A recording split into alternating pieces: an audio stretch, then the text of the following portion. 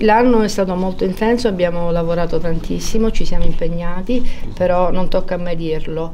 Abbiamo lavorato sia sotto il profilo della prevenzione, con il controllo del territorio, eh, attenzionando soprattutto quelli che sono i quartieri a rischio della città.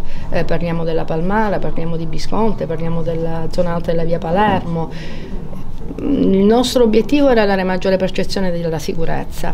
Credo ci siamo riusciti. I, nostri, i numeri dei nostri controlli ci dicono, che, um, ci dicono questo. Eh, siamo passati da oltre 50.000 controlli nel 2021 a eh, quasi 100.000 controlli. Quindi questo ci, ci rende felici.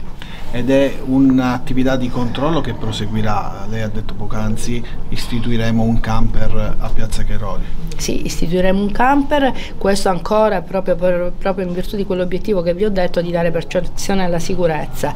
Sarà un camper che già esiste, già c'è, già è attivo e già è operativo e che tratteremo anche dopo le feste ovviamente. Un altro passaggio che lei ha fatto poc'anzi, a cui pensiamo tenga molto, è quello della violenza di genere, l'attività che, che, state facendo sulla violenza di genere. Sì, è un'attività anche quella molto impegnativa, noi seguiamo i casi di violenza dal, dal primo momento del nostro intervento fino alla fase dell'ascolto e poi all'attività investigativa coordinati dalla Procura che ci ha portato anche qui dei buoni risultati perché diversi sono stati gli allontanamenti urgenti alle case famiglie, gli arresti domiciliari e in alcuni casi anche le custodie cautelari. Polizia di Stato e scuola, rapporto la presenza della Polizia di Stato all'interno delle scuole? Sì, in questo settore inizieremo a gennaio, in attuazione della campagna Pretendiamo legalità, abbiamo già previsto una serie di incontri nelle scuole, nelle scuole di ogni ordine e grado con i ragazzi, perché sappiamo bene che la legalità deve essere già sin dai banchi di scuola conosciuta.